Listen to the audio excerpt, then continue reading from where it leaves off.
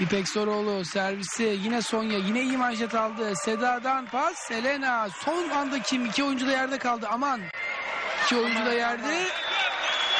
Sayı Fenerbahçe Üniversitesi'ne gitti ama ondan önemlisi iki oyuncunun da çarpışma anı.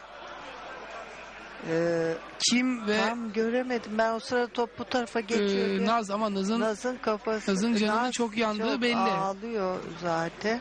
o talihsiz Hay an Allah. Maalesef bir topun e, altında tabii birbirlerini görmüyorlar. İşte aynı anda topa hamle yapıyorlar. Burada bir kafa kafaya evet çok kötü kafa kafaya çarpışmışlar. Ha, evet. Aynı abla maalesef.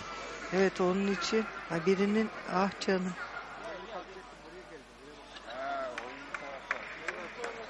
Evet Seda girecek oyuna Naz e, bu moral alkışları Naz için ve Kim aynı zamanda o da aynı şekilde darbeyi farklı noktalarını aldılar tabii kafalarının.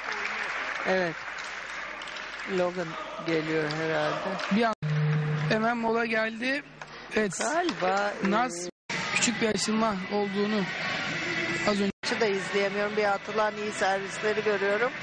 Ee, yani çocuklar çünkü her iki oyuncu da öyle nazlı çocuklar Değil, evet. değiller. Ve canlarının çok yandığı belli. Ee, Bir de o düşmede yani boyunlarına da Allah korusun bir şey olabilir. Hani bir lokma açılmak çok önemli değil ama mesela kimin boynunda da bir sorun var galiba. Boynunda. Naz soyunma odasına gidiyor. Orada deda- devam edecek tedavisi. Evet. O da soyunma odasına. Evet. Maça devam etmeyebilirler. Ve set e, ortasında yaşanan e, sakatlık e, biraz can sıkmıştı. Naz ve Kim çarpışmışlardı ve bu çarpışmanın sonrasında da iki oyuncu soyunma odasına gitti. Tedavi oldu. Kim daha iyi durumda?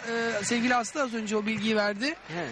E, Naz'ın açılma var. bir açıklıkları için o İkisinden birinin tokası Naz'ın ba- başına başını yarmıştı. Ufak bir Ya kimin ya Naz'ın kendi tokası. Ha ama Naz'la oynuyor. Evet. Evet, Naz oyuna döndü bu arada. Evet.